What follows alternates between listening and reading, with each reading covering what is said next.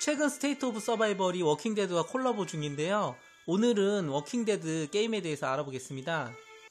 이렇게 근거지에 건물을 지어서 운영하는 것은 상당히 스테이트 오브 서바이벌과 비슷한데요. 이 게임에서는 영웅 대신 생존자를 뽑아줘야 됩니다. 우측 하단에 미션을 수행함으로써 영웅을 얻는다던가 건물을 업그레이드하는데 필요한 자원을 얻는 활동을 할 수 있습니다. 좌측 상단에 보면 무전이라고 있는데요. 미션을 통해서 얻은 무전기를 통해서 영웅을 호출할 수 있습니다. 보시는 바와 같이 저는 대부분의 영웅을 뽑았는데요. 이것도 마찬가지로 무과금으로 했지만 크게 어려움은 없었습니다. 작업장에서 이렇게 무기를 업그레이드 할 수도 있는데요. 미션을 한번 진행해 보겠습니다. 난이도 어려움으로 The Distance 한번 해보겠습니다.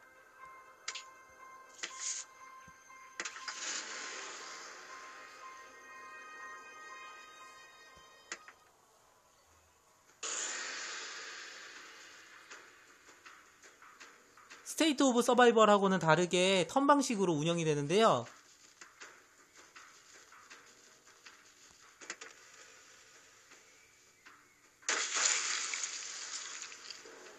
조금 잔인할 수도 있죠. 미션은 좀비 9마리 제거가 미션이네요.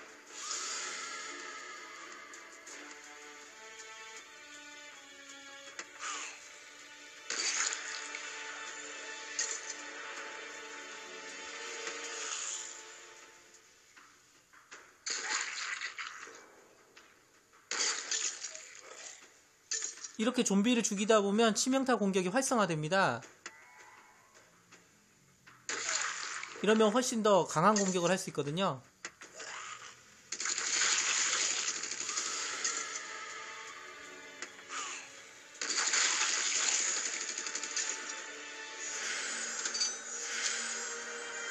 예, 이렇게 미션을 완료하였습니다.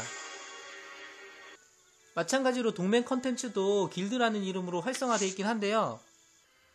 챕터 미션 같은 경우에도 거의 다 클리어를 했는데요. 그래픽 같은 경우에는 스테이트 오브 서바이벌보다 더 좋은 것 같긴 한데 전투가 실시간이 아니라는 점하고 동맹 컨텐츠가 다양하지 않다는 점이 약간 아쉽습니다.